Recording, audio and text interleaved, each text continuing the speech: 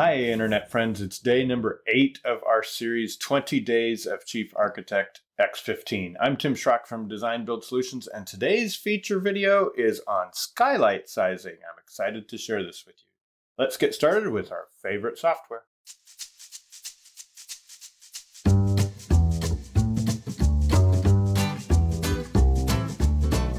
Skylight sizing has finally upgraded and improved uh, I've often gone into like you know what is for an 812 pitch what is the roof multiplier times the width length of the skylight? And it's uh i've often wondered why i couldn't just do that either with a macro or with something within chief.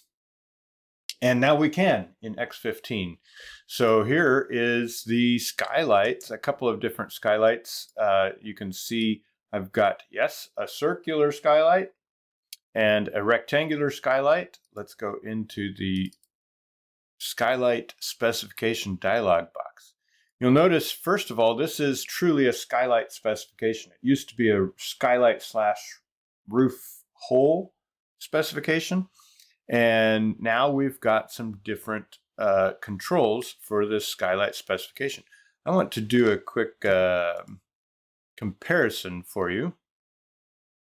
You can see the specifications between X14 here on the left and X15 on the right, where, like I said, this is the was the roof hole slash skylight specification box. Now it's specifically skylight specification. Um, we have the frame width and height now is controlled here. And we've got this additional information of shape and width and height of the unit itself. That is pretty much, as I go through, um, you'll see selected line is no longer a panel over here, but that's okay. Um, we've got this. Let's zoom back up onto X15. And so I'm going to give this example as if I'm doing a Velux uh, fixed skylight M08 and Velux tells me that that is 30 and 1 16ths wide and 54 and 7 16ths tall. I could do my figure out my frame width and height and click OK. Notice we also have control of does this frame display in plan view or not? So do I want to do my this standard um, polyline, you know, rectangle, or do I want to go ahead and show the frame here as well?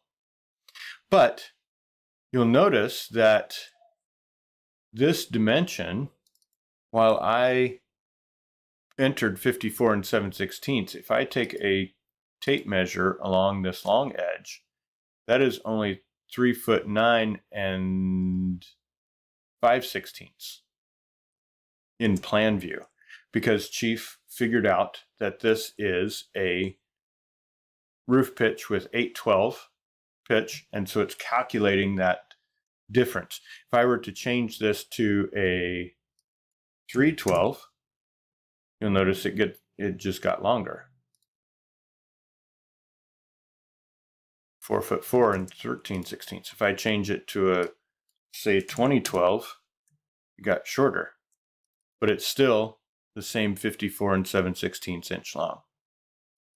So Chief is automatically figuring out based on the pitch and the length that you entered the unit size that what um, it should show in plan view. You'll also notice that we can resizing, we can lock the center, top, or bottom. And as you see over here, we still have uh, square sides, plumb sides, or plumb square. You can automatically generate, manually edit the ceiling hole, or do not generate a ceiling hole and generate or not generate the shaft down to the ceiling hole. You'll notice we have circular uh, skylights. We have ellipses and ovals as well.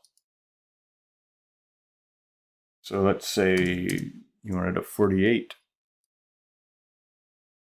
length and a 30 inch wide, you could do that.